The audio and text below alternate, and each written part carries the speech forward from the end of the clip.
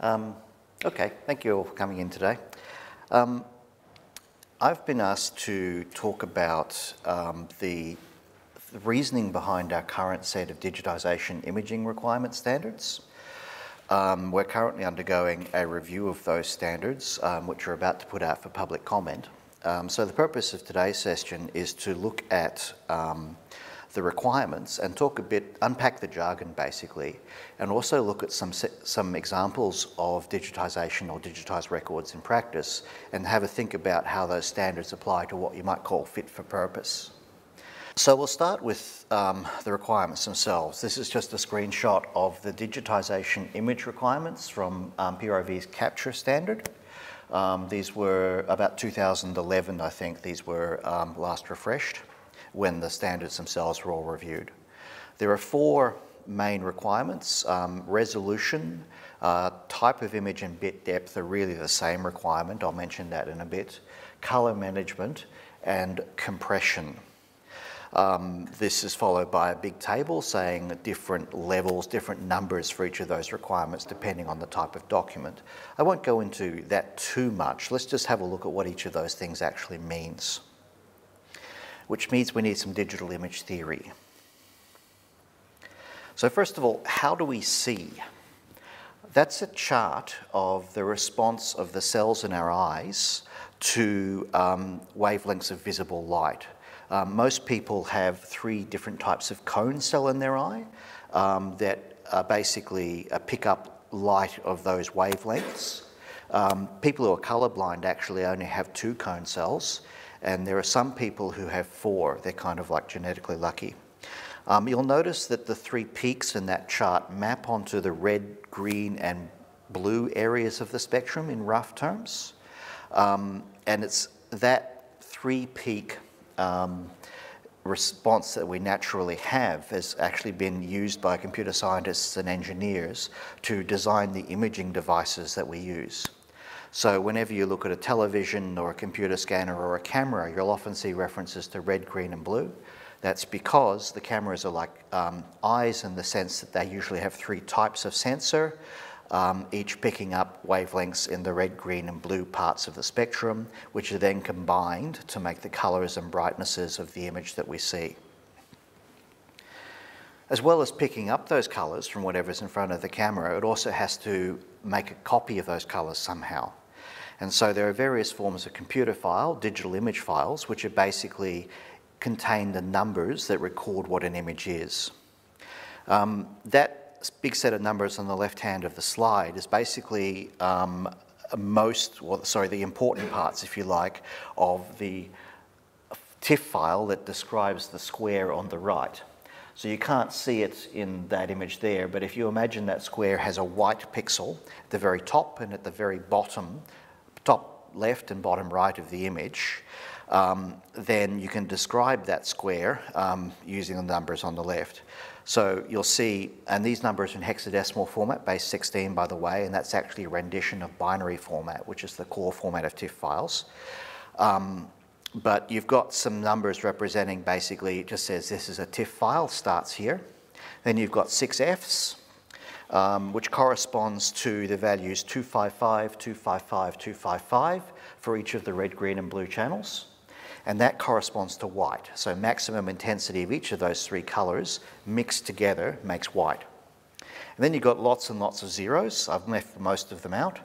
Um, and that's basically reading from left to right, top to bottom. Each dot has a color which happens to be black, i.e. no intensity in each of the red, green and blue channels lots and lots and lots and lots of zeros, six Fs again, which is the bottom right white pixel, and then some more information um, which specifies the resolution and a couple of other aspects of that TIFF file.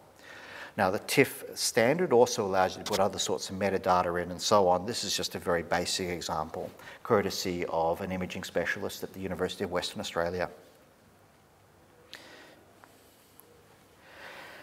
I also briefly mentioned resolution there, so here's the first of our standards. I've got grids on the screen here. Um, two very common resolutions we hear about are 72 and 300 dots per inch, um, based on US, so it's an inch standard. Um, essentially, it's how many pixels, um, both across and down, in a square inch of um, either your original or whatever you choose to regard as your, your, um, your image. So it's arbitrary, of course. Like if you have just a projector in this room, we move the projector a bit further away, the pixels are going to be a bit larger once they reach the screen. If you move it closer, they're going to be a bit smaller. 72 dots an inch is a standard because it's what browser makers originally adopted as the rendering resolution of any image. So if you put an image on a web page, um, then regardless of what its original resolution is, it's going to be rendered at what the browser thinks is 72 dots per inch. And so it's picked because, um, of course, when you're delivering stuff over the internet, you can't have your file sizes too large. It's a reasonably detailed resolution, but it's still a very small file compared to a 300 dot per inch, which is a more standard print resolution. At 300 dots an inch, um, generally if you print that on a page, you can't see the individual dots, even if you look really closely, which is why that's picked. But you can see by just doing the maths, one's got 5,000 pixels per inch, one's got 90,000 pixels per inch. And if you remember that TIFF file, each pixel has got its own set of six numbers. Um, a higher resolution image is generally a much larger file because it's being squared. The next standard we mentioned was bit depth. I've already started talking this a little bit. Um, it's basically the amount of information that you capture about each color channel. So a standard bit depth is 24 bits you'll hear referred to, or just color. What that means is that in each of the red, green and blue channels that make up the image, there's 255 possible levels of color that is captured. So zero again is no color in that channel, 255 is full color in that channel. So if you map that across, you can see here, if you imagine that FF, FF, FF that I was talking about before, um, 00, 00, 00, FF is actually blue. FF 0000 is actually red. And if anybody's done any web design, those um, numbers will be very familiar because all of the browser colors are usually rendered as hexadecimal triplets, as it were. The other standard we're talking about is color management. And this is where um, we start sort of moving out of the ideal world into the real world. In the sense that just as everybody in this room sees a bit differently, we talked about color blindness, which is an obvious difference, but also if you think about all the psychological and physical differences that goes in our makeup, and if you say, I say red, the color I'm thinking of is not quite the same as you say red. There's a similar kind of process going on with computer imaging in that um, it's converting a voltage generated by a piece of light across a piece of electronics into a number. Different computers, depending on the electronics, will generate different numbers depending on what they're seeing. So color management is actually a way of first characterizing how a particular imager, whether that's a camera or a TV monitor or two different versions of the same camera, see the same set of colors. And secondly, it's a way of describing those colors against a standard backdrop. So if I move an image file from one device to another, it's being rendered or captured in the same, the, the, the wavelengths are converting at the same values as it were. Hope that makes sense. Um, there are some color, standard color spaces that we talk about. Um, for monitors, um, again, this was set in the early days of the internet, there's something called sRGB. Um, you can see on the left of the chart there is a sort of uh, a, a, drawing with red, green and blue corners. That's what's known as a um, color space. Um, and the triangle in the middle represents the colors that are possible to render within the sRGB gamut. So um, out of the infinite number of colors there are within the visible light spectrum, um, some are too intense or too dull for most imaging devices to pick up, same as we've only got a limited range of vision in our eyes. Um, so in order to make sure that monitors render in the same way, um, they've decided on a subset of all of those wavelengths um, and assigned numbers to them and called that the sRGB standard.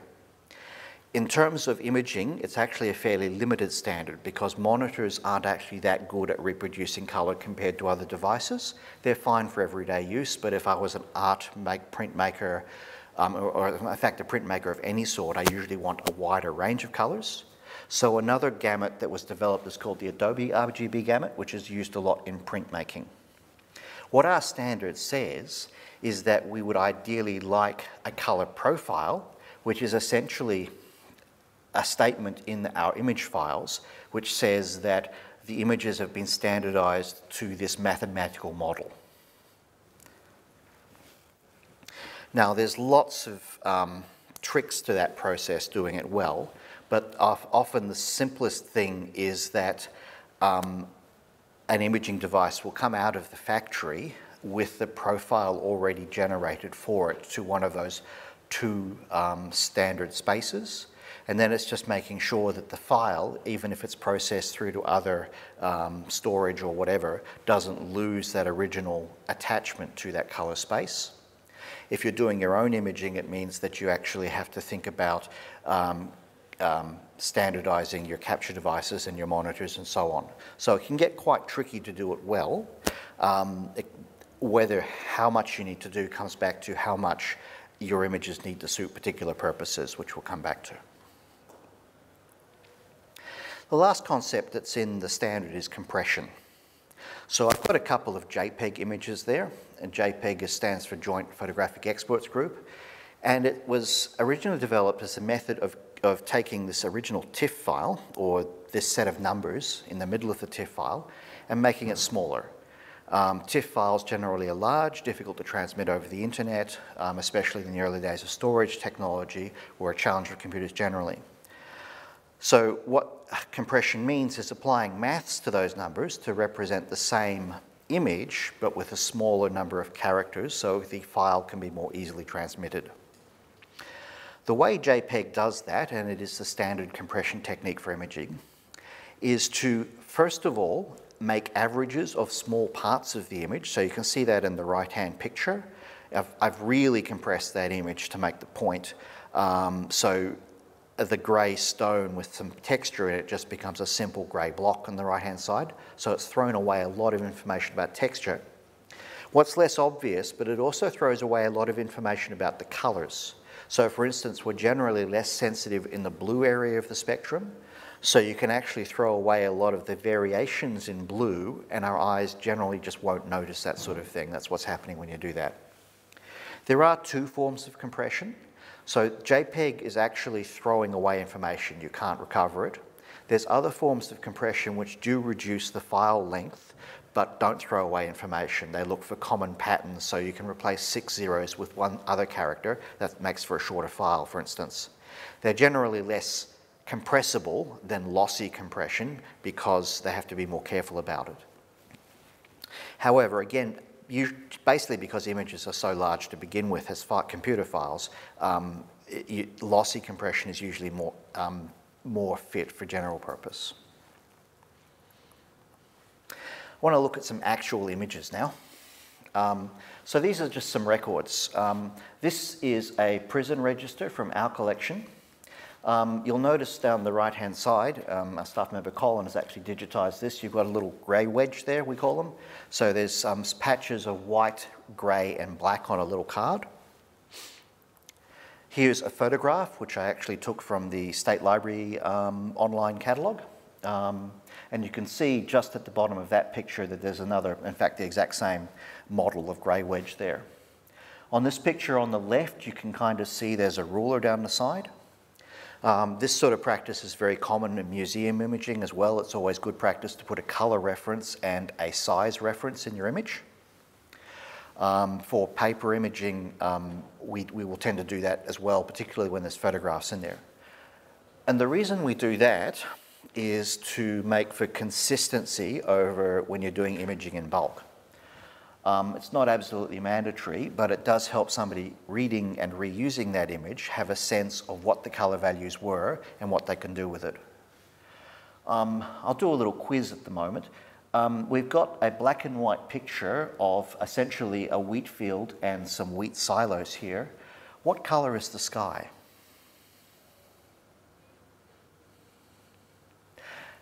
It's actually very close to dark grey. Um, even though we tend to interpret sky as light coloured, in this particular picture, um, the, the saturation of the colours is such that it's a very dark colour.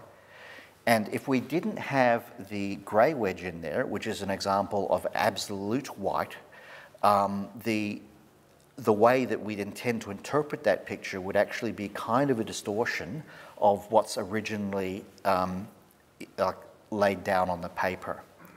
So um, some sort of standard reference helps with colour management in a sense that it helps you have a standard to judge your instant reactions to the way things should look against what the actual colour values are. I've just got another slide here of um, just the grey wedge itself um, that we've just scanned by itself. And in front of that is a little um, chart which is called a histogram, which is basically a chart of how many pixels of every colour can it see.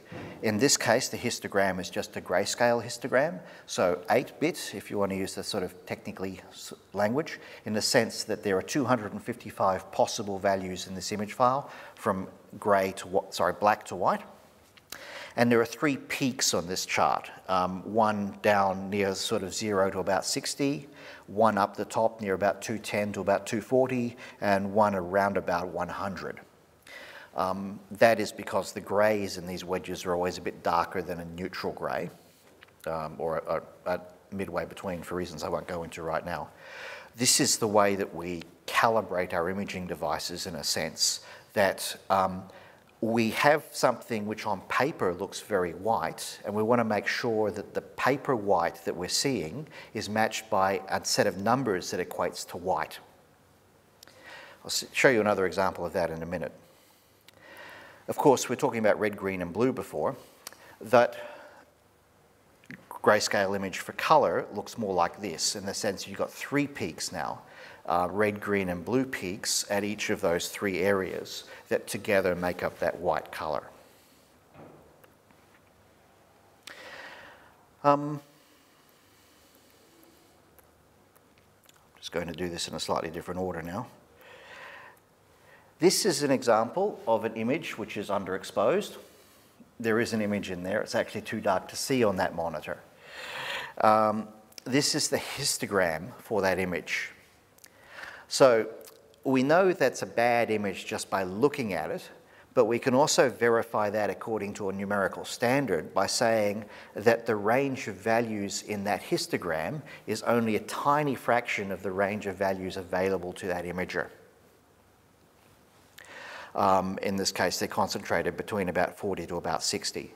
So if I wanted to do any maths on those numbers, there isn't a lot of variation that I can, can I can do with those. Okay, I'll just go back up a bit.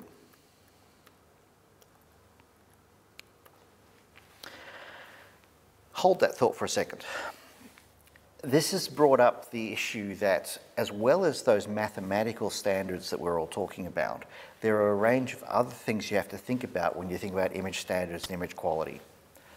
Um, this here is a picture that I took of one of our bits of paper under our new overhead scanning downstairs. It wasn't entirely deliberate, but the paper was moved while the scanner was operating. And so you get some distorted text in there and some interesting color effects. Something to watch out for. I also wanted to introduce the concept of um, the different sorts of imager. Um, so that picture you saw before was actually, uh, we call it a scanner on a stick in the sense that um, there's a pole and the scanning head is actually at the top of the pole moving over a um, over a, a something held underneath. Our common method of imaging volumes is not so much a scanner on a stick but a camera on a stick and that's just a picture of one of those as well as the sort of traditional flatbed scanners which you see which is basically a, an LCD uh, device moving underneath the picture um, taking things as they go. Um,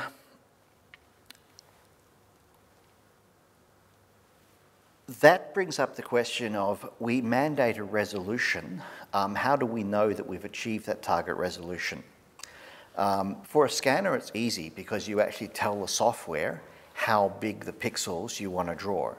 For a camera, it's a little more difficult because um, the camera is a fixed imager. It has a number of pixels, um, and the number of pixels that are actually in the target object, how many, what size of those pixels is actually mandated by the distance between the camera and the object, and also the focal length of the lens.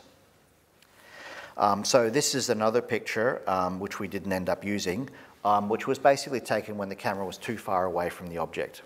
There's a number of issues with that, um, including uneven lighting and so on. But the core problem, even if we sort of cropped it back down, was there aren't enough pixels in the object to actually um, render the information present in that object properly. So an alternative to mandating a minimum number of pixels is actually by the National Archives and various other standards is saying you have to have at least two or three pixels in the finest line on the page. And that sort of standard was um, brought in to deal with sort of problem actually originally when microfilming was around. Um, there's different variations of that problem. Here there are too few pixels because um, the, the camera's too far away. Here the camera is the right distance from the object, but the object's a strange size. It's very much longer than it is tall. Um, you get a similar sort of issue. Um, this is actually, by our lights, an acceptable image because it has got those two or three pixels in the finest line, but it's still a fairly pixelated image simply because the original, the original is so large. So the only way we could improve that is to buy a camera with more, more um, pixels in its imager. So I suppose that's just an example of application of those standards. If you want to calculate that resolution, um, you usually just, it's a ratio between the number of pixels in the imager and the, um, the number of, the, the, size of the object. So if you had an A3 object for our standard camera downstairs um, and you filled the frame, it would be about 340 pixels per inch, which is well above our standard. Um, if you had an A4 object, it's even better. It's about 480 pixels per inch because the camera needs to be so much closer to the object. Okay.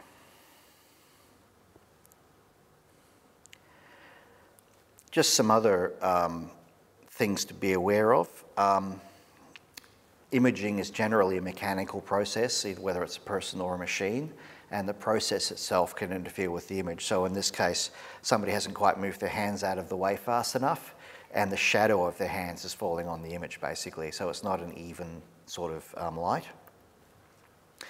In this case, there are a couple things going on. Um, the first is that um, that colour of that book isn't very accurate. What's fallen over here is that cameras have a white balance in a sense that they, their white is set according to the room lighting um, you know, a different lighting will show you different values. Our eyes generally adjust for that automatically, but um, cameras don't. You actually have to specifically tell them what composition of wavelengths white is in this space.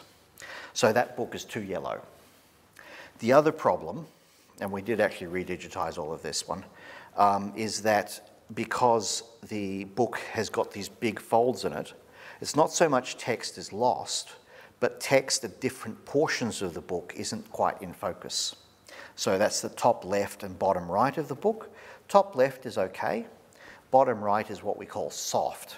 You can still make out what those, those, um, those characters are, but it's getting difficult towards impossible. There's our um, underexposed version again. There are other variations that occur that are variations but not necessarily problems. So this is a, another image taken with that scanner on a stick I was talking about, which we're about to introduce into the reading room. Um, the issue here is that um, this is an image which is pretty good in terms of capturing the colours and the detail, but it's still not what you'd call an accurate rendition of the original as an object. We've got a couple of issues. Um, so the top left there, you can see how the page is distorted and sort of posterized out to white. That's an artifact of how the scanner is interpreting what it sees as it moves over the paper. Um, and if you're interested in the paper rather than the text, that image would not be good enough. We zoom in a bit further, and this is a bit more subtle. I mean, first of all, you can see the compression artifacts.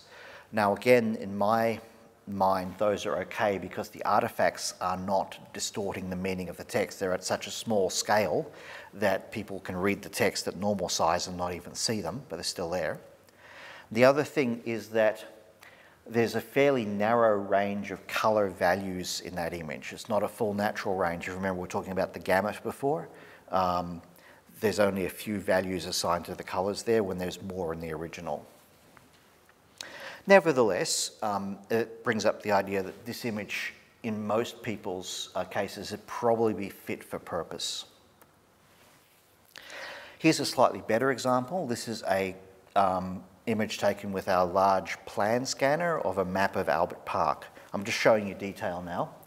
Um, this is the TIFF file, so the one that's uncompressed, showing all of the pixels just one by one.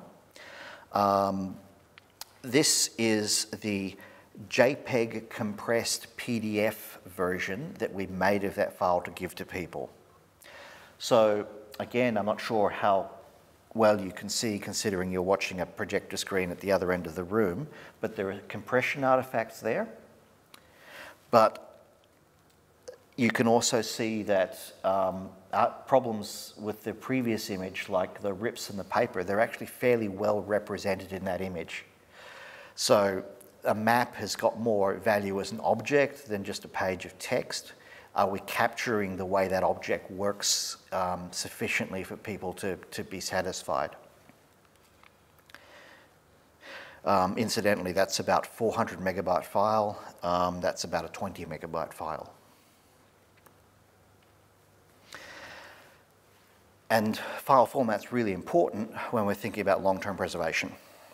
So the four long-term formats that we accept are TIFF, JPEG, JPEG 2000 and PDF. This isn't part of our digitization standard, it's actually part of our electronic record strategy. So those formats are picked partly because they work, but mostly because they're open. Um, we know that they're well supported. We're pretty sure that they'll still be around several decades from now. Um, one thing to note though is that different file formats have different purposes. In that list above, there are a couple what you might call pure image formats in the sense that all they do is represent pixels, and that's JPEG and TIFF. The other, another formats are actually container formats. So PDF um, is actually just a, it's a standard for specifying the structure of a page um, so it can have text information, it can have picture information, it can have other sorts of information, even videos, sort of all arranged in a space which you can then print out on a printer originally or transmit over a, an internet browser these days. That's important because you don't always know what sort of image formats are being used inside container formats. So a Word document, for instance, is famous for this. The older um, versions of Word, the pre-XML versions, re-rendered the pictures at 200 dots an inch in bitmap format, which is a closed standard invented by Microsoft. So even it, it basically requires extra um, software to sort of specific to Microsoft to extract and read those files, regardless of how they were before they went into that document. Just some notes on image size. I sort of alluded to this briefly before, um, but again, in terms of practical considerations for imaging, a 24-bit, so color A4 document scanned at 300 dots an inch, which is well above our current standards, is a 24 megabyte file, uncompressed. You can compress that, and then you have to bring some judgment in it, but depending on how much you compress it, which depends on the complexity of the image, between about one and five megabytes and you can scale up and down. It's, it's, it's kind of linear. So an A1 plan is about 400 megabytes. Um, a 35 millimeter slide is only um, you know, 24 by 36 millimeters in real life. Um, but because you need to scan it at 2400 dots an inch to get all the detail out of it, you're talking about about another 25 megabyte file or so. Um, and we deal a lot in half plate negatives, which are sort of four by five inches. Um, is that right? Six by four images, sorry.